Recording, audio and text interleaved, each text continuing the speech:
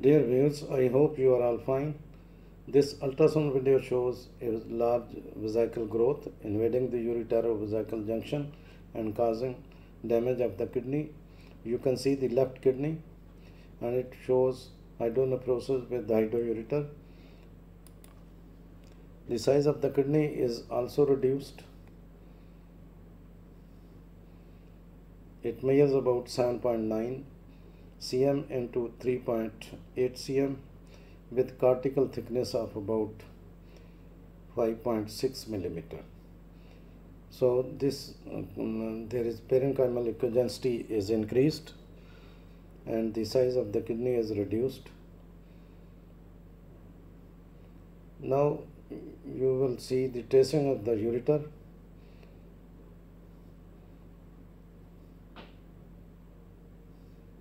this is the left kidney. And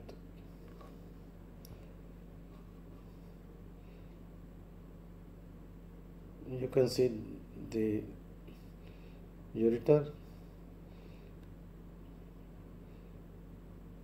near the crossing of the iliac vessels. This is the left ureter. And it shows hydroureter now you can see the ureter in its middle portion. After it it is crossing the iliac vessels. And you can see there is no stone seen in the proximal and middle portion of the ureter.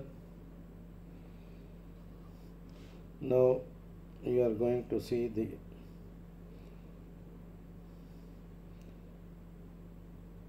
distal portion of the ureter and the urinary bladder. And you can see this is the urinary bladder. And this is a large vesical growth a mass in the urinary bladder and this mass lies along the left lateral wall of the urine filled urinary bladder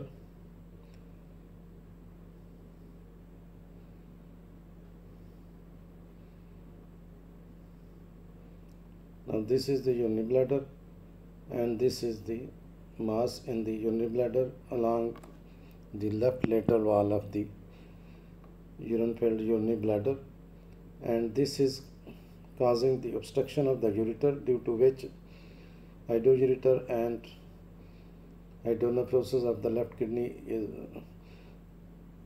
is visible